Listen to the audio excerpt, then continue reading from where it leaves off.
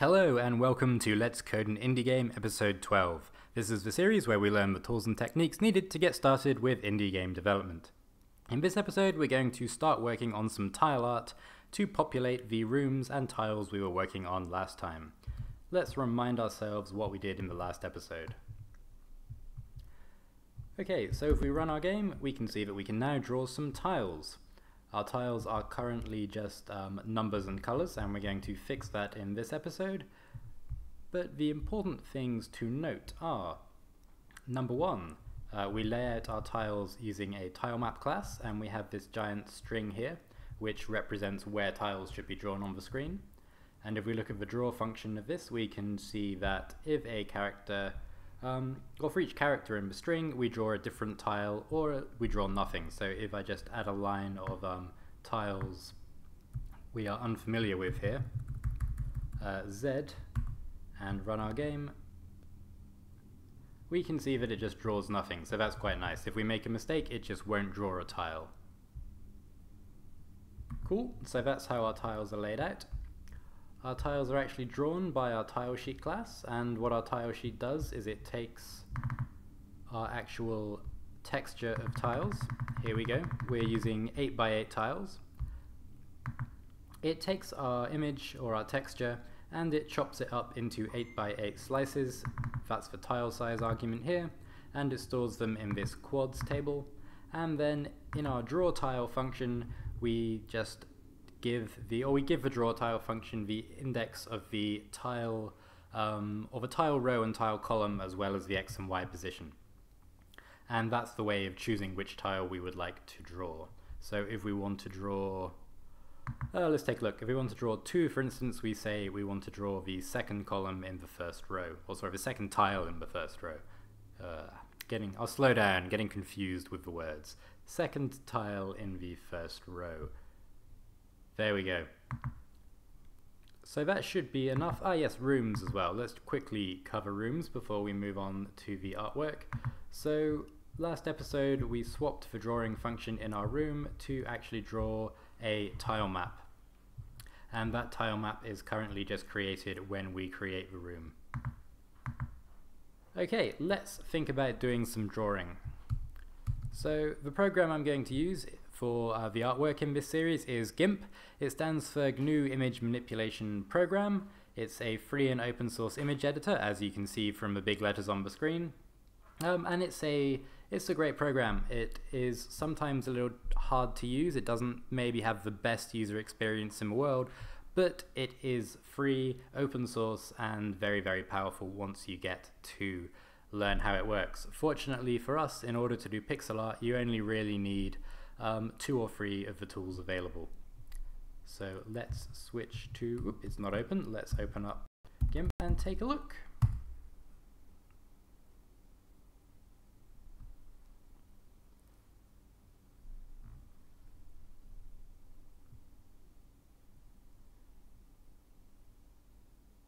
Okay, so like everything else in the series, we're going to start off by keeping our tiles simple, and we'll come back and improve them later on when we need to. But to start with, we're just going to draw some walls, pardon me, some walls and some floors. Okay, so let's just tidy up the desktop slightly. Nice clean desktop, there we go.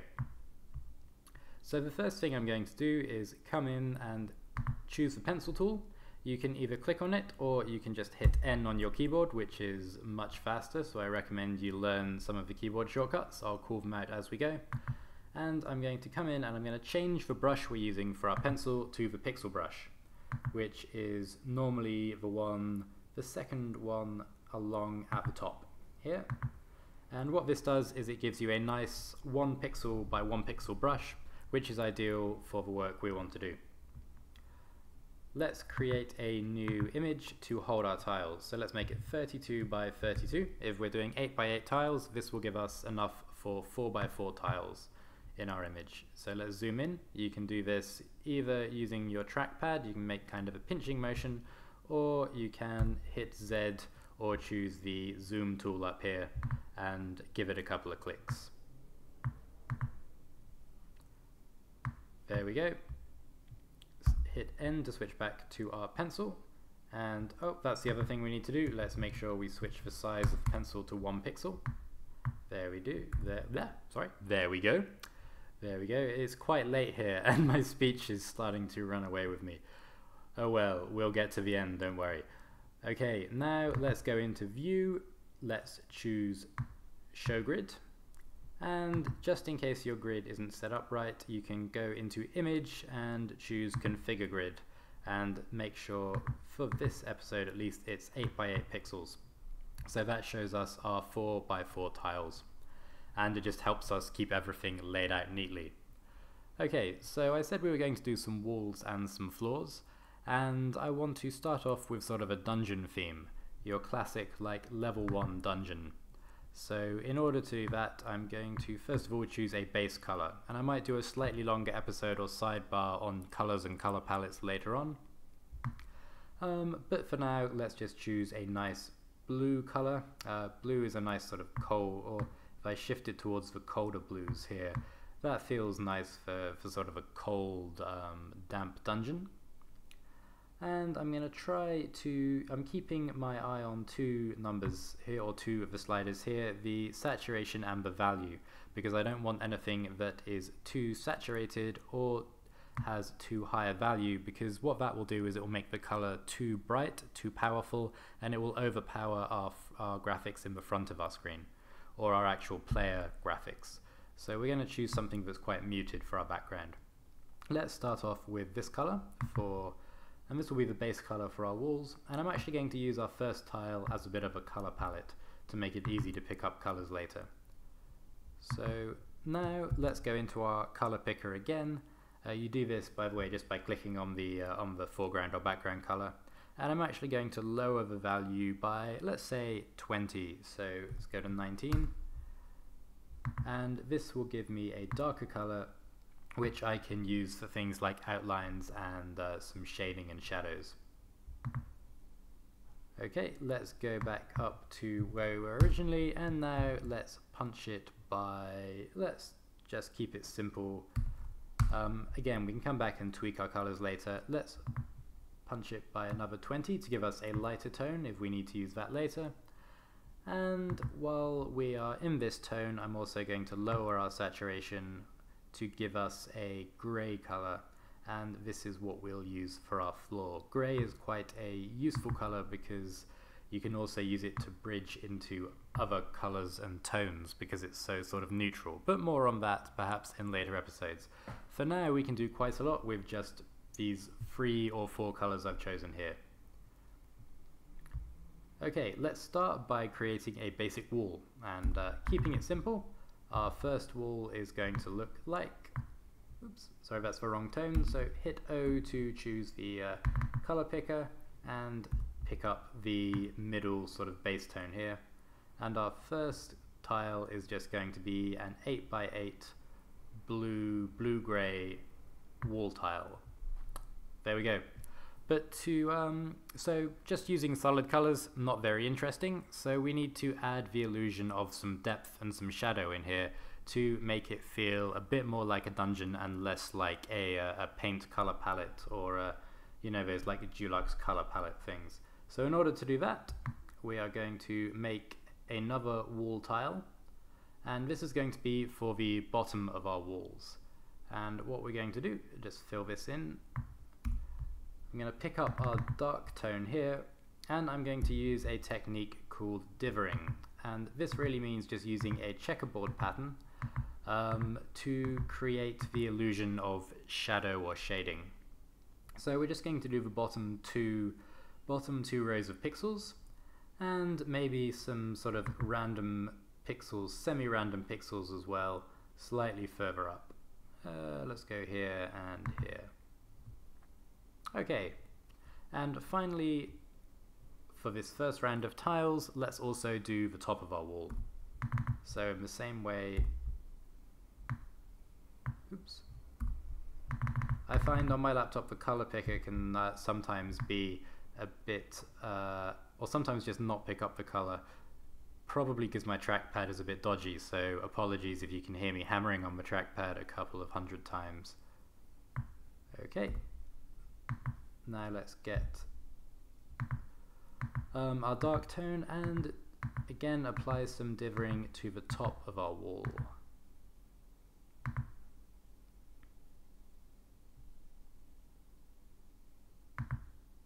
Okay, that feels kind of good. So now let's go into the file menu and we're just going to choose export. So you can save it if you want, but if you save it, it will save it as a XCF a GIMP file, which we won't be able to use in our game, but it will preserve things like the layers and slightly more image information. But for our purposes, we're just going to export it as a PNG. So PNG should be the default format, but if not, you can come up here and just add .png to the end. And let's uh, just stick this in, where are we? Let's Code an Indie Game, episode 12, assets, sprites, tiles, and let's call this dungeon.png. And just hit export. It'll ask you a couple of options for how you want to encode with PNG. I'm just going to leave it at the default settings for this episode. Okay, now we have our tiles. Let's check for they load into our game. So switch back to the code, and inside of room.lua, let's change our numbers tiles to, or our tile image to be dungeon, and let's just run the game. Okay, so it works success. We can load in our um, load in our tile sheet. We're drawing the wrong tiles at the moment, but that's what we're going to fix next. So in our tile map, let's come down and let's add in some walls. So I'm going to keep using X for the wall. So let's just fill out a couple of these rows with solid wall tiles.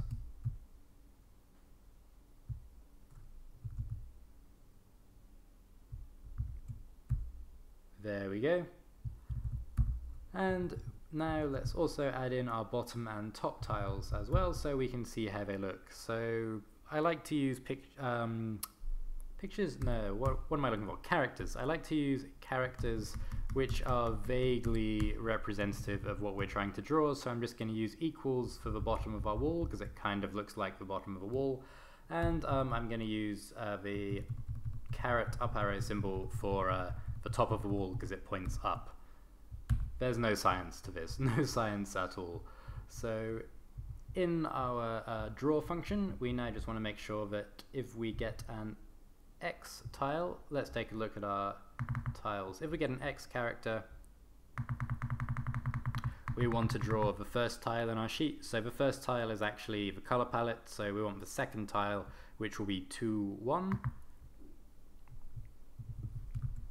2, 1. Okay, we are going to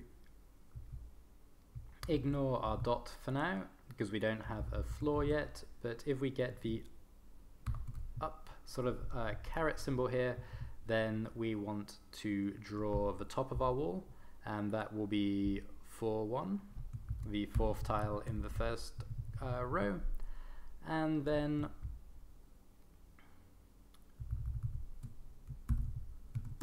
let's also draw the bottom of our wall. So that's if the character in our tile map is an equals, we want to draw the, this must be the third tile.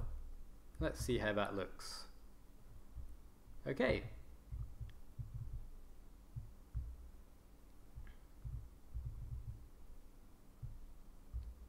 So you can see that the dithering pattern, actually I'm going to get rid of the other extra tiles here because it's uh, sort of distracting from what I'm trying to show. So let's just very quickly replace this with dots and then we've got 1, 2, 3, 4, 5, 6, 7, 8, 9, 10, 11, 12, 13, 14, 15, 16. So 1, 2,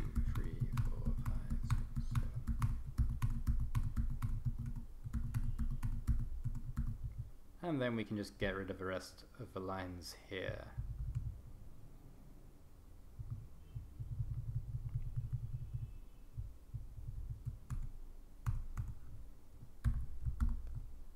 There we go, much better. So you can see how the dithering sort of blends, helps to blend our wall in and give it the illusion of, a, of shadow and depth. Um, I would probably go back and edit these eventually because I, I kind of feel that some of our textures are a bit too repetitive and a good trick when you're creating tiles is to try and hide the joins.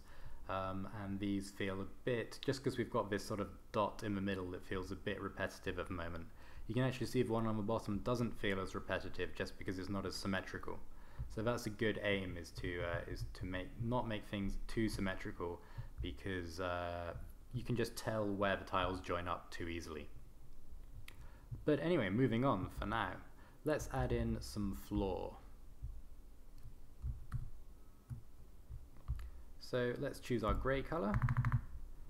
And let's start off with just some plain floor.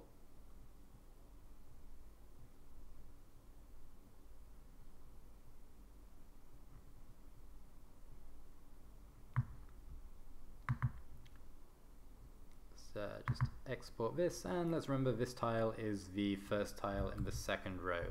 So now we can just come up here and say if our character equals dot, then tile sheet, draw tile, view xy, and we want the first tile in the second row. Okay, here's how it looks with the floor added. And now I'm seeing it with the floor, I want to go in and add a bit more shading onto the bottom of the base of our wall, um, just because it's starting, we're getting a bit of a, a strange zigzag effect here. So let's fix that very quickly. And pick up. Oops. There we go. Uh, export again, run our game.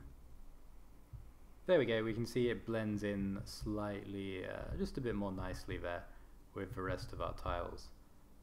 Right, so our floor is looking pretty boring at the moment. So let's add in another tile to do a couple of floor decorations.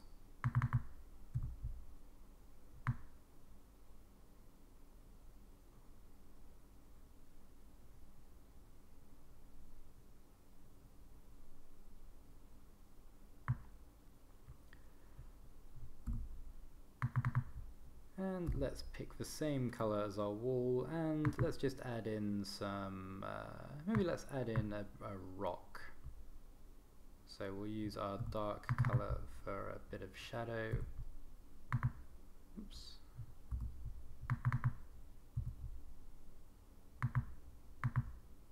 There we go. And again let's export this tile and we can say, let's just use commas for this. So we're just going to throw in a few of these to break up the way our floor looks.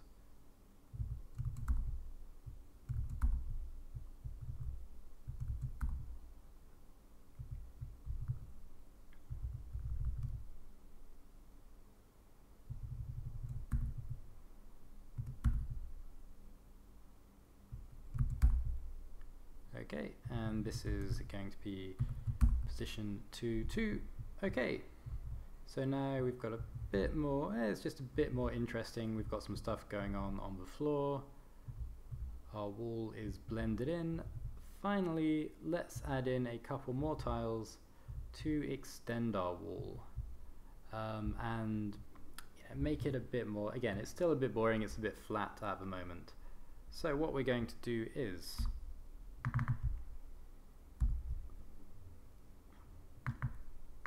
let's make a tile which is we're going to take a 45 degree line through the tile. And we're going to shade above that line with our wall color and below that line with our floor color. And what this is going to be is this is going to be a tile which is showing a wall which actually comes towards the screen and the way we're going to do that, we're using a projection where everything is sort of at 45 degrees and I'll go into that more I think next time and we'll talk a bit about projections but for now um, this will make sense once you see it on the screen. So what we have to do, because this is the bottom of our wall, is just make sure that our shading is still in effect. So remembering that everything is now drawn at 45 degrees, let's just add in some shading here.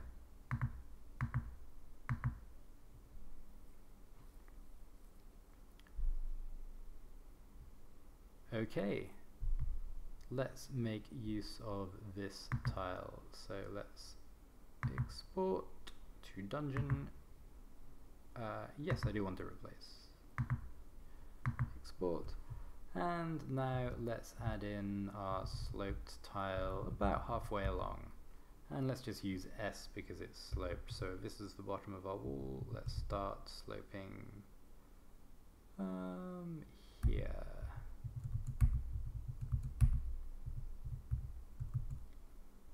and let's fill oops, this in with our wall now.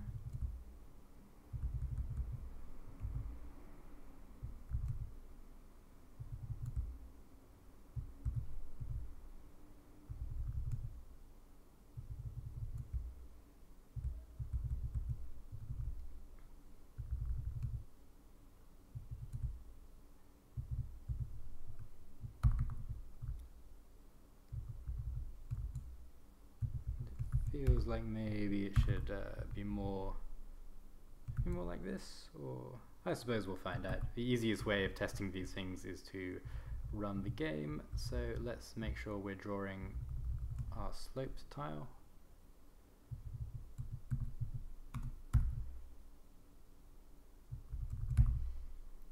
So this is in the second row and I believe it's the last tile okay yep we can fix that. We've got a bit of a problem with the slope there so.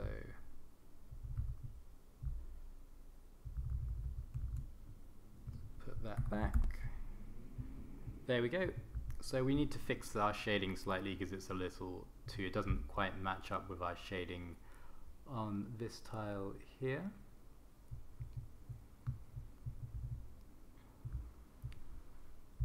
the other thing we need to do of course is make sure we're using our base tile down here as well.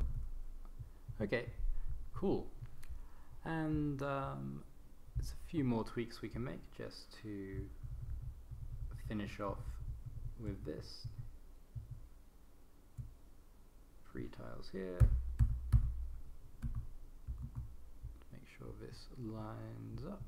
Yep Okay, and now we should add a bit more shading and maybe an edge and then I think that will do for this episode and then this should suddenly all make sense, at least this little uh, bit we're doing here.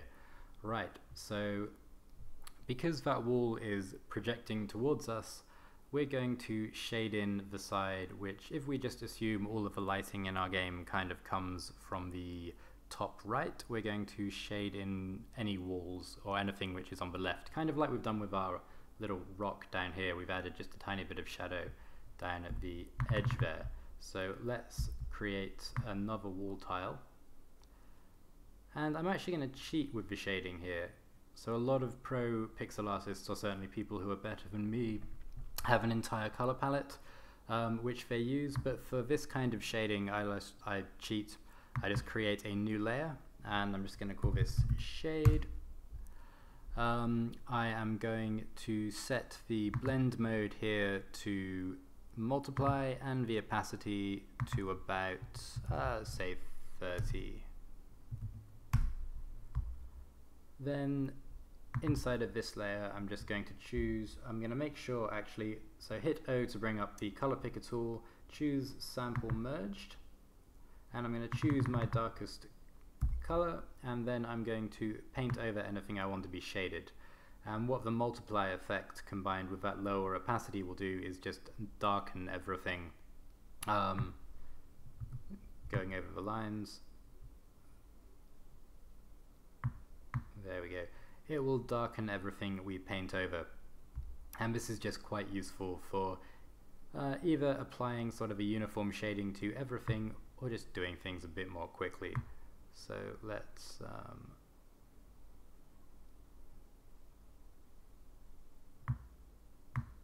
paint over everything which is sloping um, or which is a left-hand wall.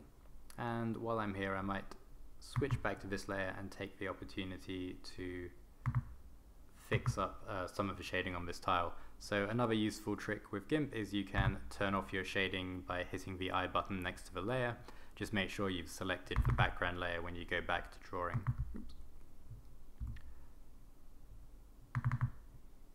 Okay, so I think our problem with this shading was it was just a bit too heavy, so let's just take it back slightly.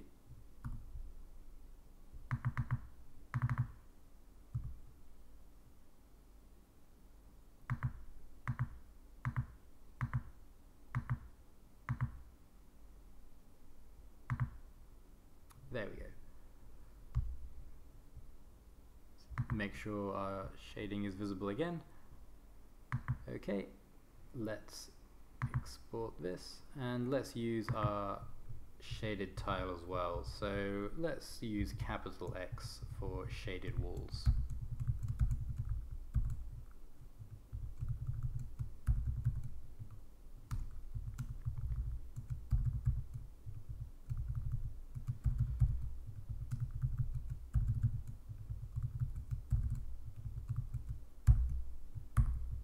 Okay, let's just draw that wall as well.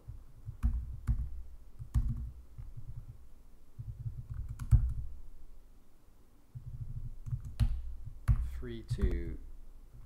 Okay, and now as soon as we add the shading, you can see that it looks a lot more 3D, or at least fake 3D. Um, our wall actually looks like it is uh, reaching forward, and we've got a bit of an edge going on there as well. Cool, I'm going to wrap up here for now. Um, hopefully I've shown you a couple of things that can get you started with some pixel art. Um, this is by no means the best pixel art in the world, but you know, again, we are building things up slowly. The idea is to do just enough to get to the next stage. And if we go back and view our game a couple of weeks ago and view it now, it's kind of nice to see the, the progress that we've made.